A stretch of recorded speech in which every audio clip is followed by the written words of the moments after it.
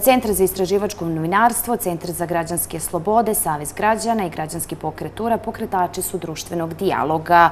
Pod sluganom zajedno do rješenja ovo je zamišljeno kao serija okruglih stolova, tribina i panela na kojima će se razgovarati o ključnim temama, problemima, a također će se, pretpostavljamo, tražiti i rješenja. Tim povodom naši gosti ovoga jutra su Boris Marić. Dobro jutro i dobrodošli. Dobro jutro. I profesorica Mara Čepanović. Dobro jutro i vama. Hvala, dobro jutro. Prvi okrugli sto, društveni dijalog, zajedno do rješenja, održat će su sridu, da napomenemo, ali evo prije svega da vas pitamo zašto ste se baš odlučili da nazovete ovo društveni dijalog i je li dijalog nešto što ste vi prepoznali da je našem društvu potreban? Evo, hoćete vi. Pa evo da ja počnem. E, u svakom slučaju nije teško prepoznati da je dijalog potreban. On je više nego potreban. E, vidite i po organizaciji društvenog dijaloga, kako se zove čitava ova inicijativa i aktivnost, da je to jedna heterogena društvena struktura, jer dijalog se i vodi ovaj, među raznim društvenim eh, akterima, među raznim društvenim organizacijonim cijelinama i prosto smo negdje željeli, željeli da ohrabrimo ovaj, kompletan društveni kontekst činjenicom da i nevladine organizacije, udruženja građana, eh, jedna politička partija mogu da organizuju, da iniciraju društveni dijalog i naravno očekujemo da E, na ovom okruglom stolu budu prisutni predstavnici svih političkih subjekata, predstavnici drugih nevladinih organizacija, državnih institucija. To je vrlo važno jer dijalog ima svoj sadržaj, svoj, može da ostvari svoj cilj ako su prisutni svi oni koji treba nešto da kažu i da sučele argumente. Mhm. Upravo tako, dakle, negdje dijalog podrazumiva da i aktivno govorimo, ali aktivno slušamo šta kaže ona druga strana. Koliko smo mi kao društvo spremni, šta vi ocjenjujete da saslušamo jedni druge, ali i da kad prosto ponudimo rješenje i da uzmemo obzir to što taj neko drugi priča? Pa iz svega do sada što nam se dešava nisam sigurna da uopšte umijemo da vodimo dijalog. Mi dolazimo većina nas ulazi sa gotovim stavovima i bitno je, vodi se više rat nego dijalog, u stvari čija će da pobjedi. Um, dijalog je neophodan ovom društvu jer ko nije shvatio da je došla ono što bi se reklo zadnja minuta, da ovo sve lagano puca po šavovima, ko nije shvatio uh, koliko smo prezaduženi, koliko smo posvađani po svim osnovama. Uh, taj onda ne ide širom otvorenih očiju kroz život. Mi smo tu da ponudimo onaj pravi, iskreni dijalog i sad je pitanje, e, tu smo i da ga započnemo, sad je pitanje samo onih drugih, onih nama rukovodećih, kako će to da prihvate i na koji način će e, da na neki način poslušaju e, glas građanina ipak. E sad, kazali smo da nas prvi okrugli sto očekuje u srijedu, ispitivanje porekla imovine. To je tema kojom ćete se baviti. Pa- Zašto ste se baš odlučili za nju? Pa zato što je to jedna od um, osnovnih, od, od, od polazišta i od ishodišta svega našeg. Ako želimo da uđemo u borbu protiv kriminala, u borbu protiv korupcije, moramo da imamo dobro postavljen zakon o ispitivanju porijekla imovine, jer svak od nas, kad se okrene po nekoj svojoj epsilon okolini, on primijeti jednog ili više njih čiji e, život i način života nije u skladu sa tim e, pozicijama koje on e, e, ima u društvu. Tako da je neophodno da javni funkcioneri uspješno, nadam se, dokažu od kuda njima novac da žive, da posjeduju te nekretnine koje posjeduju, da školuju djecu u inostranstvu bez stipendija, e, da voze takva kola kakva voze uopšte, da imaju taj novac i te firme e, koje imaju. E, prva, e, prvi okrugli stoje upravo o porijeklu, o zakonu o ispitivanju porijekla imovine i to o našoj spremnosti i izazovima.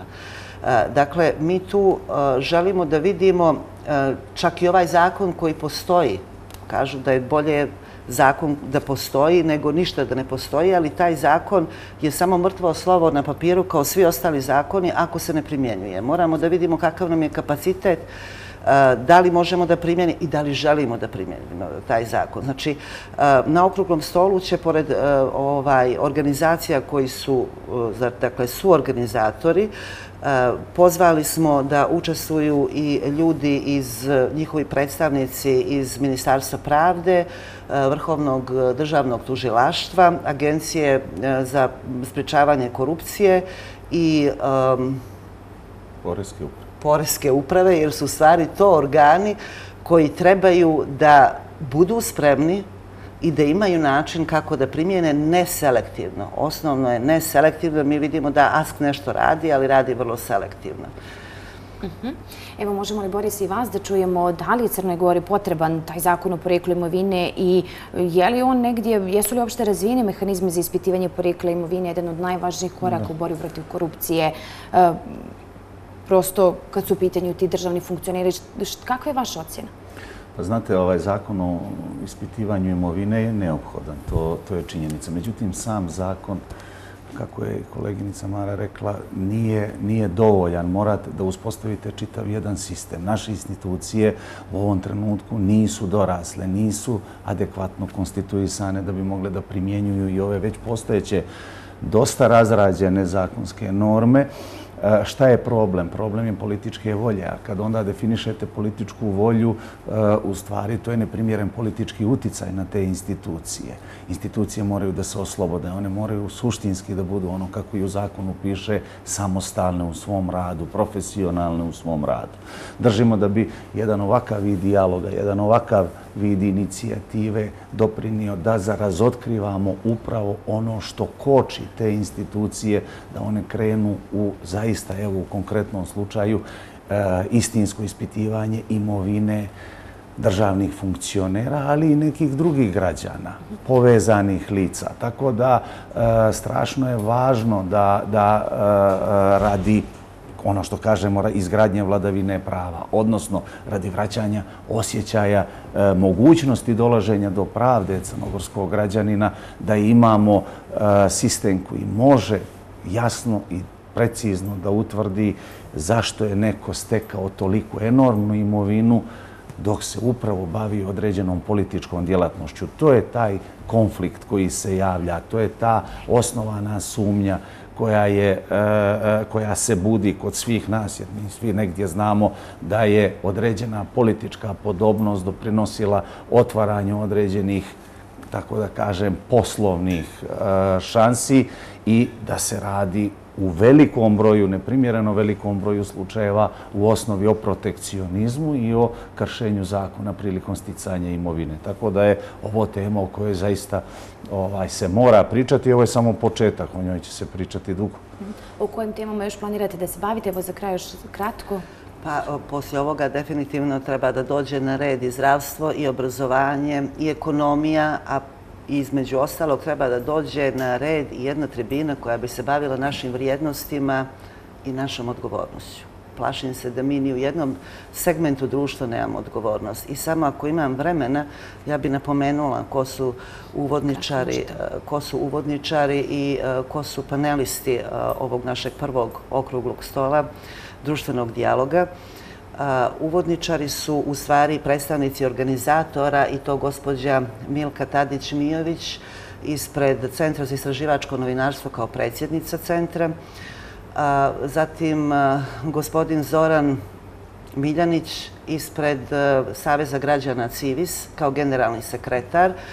Dalje um, kolega Dritan Abazović ispred građanskog Saveza e, ispred partije URA, pokreta URA, izvinjavam se, i e, e, parlamentarca iz Skupštine i predsjednika tog pokreta URA i našeg kolege Borisa Marića, advokata, koji je generalni direktor... Izvršni direktor Centra za građanske slobode. Da, a panelisti su naši uvaženi advokati Goran Rodić, dalje Veselin Radulović, predstavnik predlagača zakona Miloš Konatar i doktor krivičnog prava Ilija Vukčević.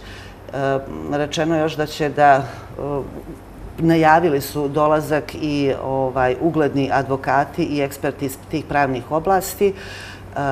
Tako da očekujemo, najavili su svoje predstavnike i već sam napomenula i ovi organi državni mhm. koji se moraju starati o primjeni, neselektivnoj primjeni tog zakona. Ali prije svega pozivimo i sve građane i gledalce naše dođe. Kako da ne, kako pa tu smo i došli. Dakle, 3 do 10 sati. PR centar. PR centar. Hvala vam lijepo na izdvojnom vremenu.